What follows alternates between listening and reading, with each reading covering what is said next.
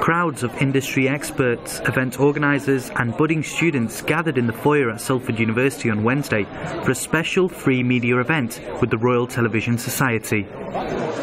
The collaboration between the School of Arts and Media and the RTS aims to give students the chance to hear industry experts about their work and experiences.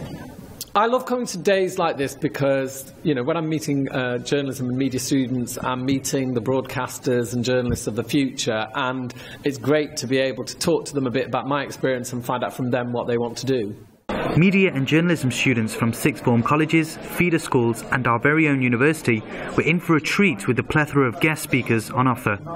I think engaging with students, because fundamentally you are the journalists of tomorrow, is hugely important and anything that we can do to help guide people, inspire the next generation of journalists is vitally important. Plus, let's be honest, the stars of tomorrow are coming out of the colleges of today, and if we can find those stars and get our hands on them early, then it can only benefit us uh, in the future.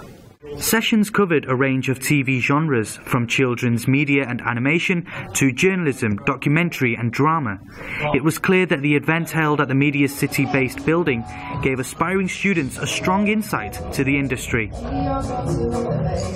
Pupils from Salford University were at hand to help out with the organisation of the event. It's so important to make the contacts because obviously if you don't make the contacts you've got no way of getting in at all in the industry. So uh, when you're being here, you might as well, you've got the opportunity, why not take it? The prestigious event was not only a positive for the students, but gave an opportunity for professionals to see what the next generation has to offer.